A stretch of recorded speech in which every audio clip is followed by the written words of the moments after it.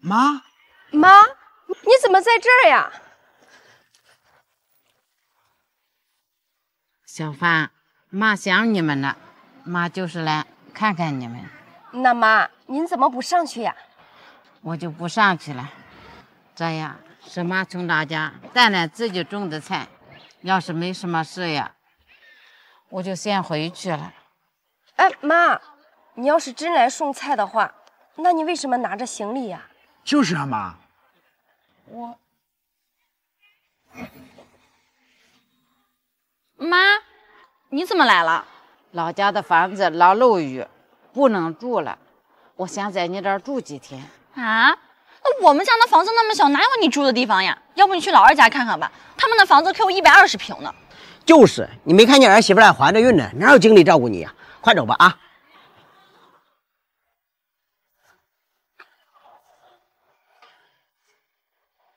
老家的房子老漏雨，我本来打算呀去你大哥那里住，可他们不让。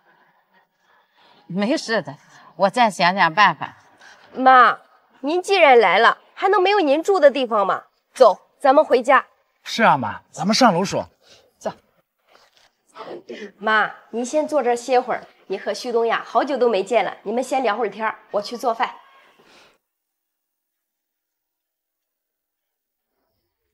妈，快尝尝我给您做的呀，您最爱吃的红烧肉。小芳，儿子，妈有件事呀要跟你们说。什么事啊，妈？这卡里呀有一百五十万，你拿着。妈，你哪来这么多钱呀？老家的房子呀拆迁了，钱您收好。阿姨，这次拆迁分了不少钱，您打算怎么用呀？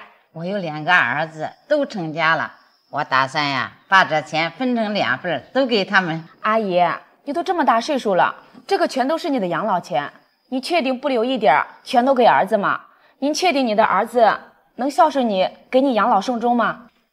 这，要不您再慎重考虑一下，实在不行，您可以测试一下。这怎么测试呀？您这样，妈，这卡我们不能要，您拿回去。给你你就要，妈，您拿回去，拿着吧。我们不能要。妈，这钱呀你就拿着吧，这推来推去的多不好看呀。是呀，妈，我知道您是从苦日子过来的，这手里头没钱就没有安全感。更何况您也到了该颐养天年的时候了。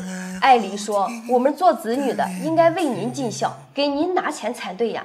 我们怎么好意思要您的钱呢？妈，你就把这钱呀拿回去吧，万一遇上点什么事儿，还能救急呢。妈，您放心，就算没有这些钱，我和旭东呀也一定会给您养老的。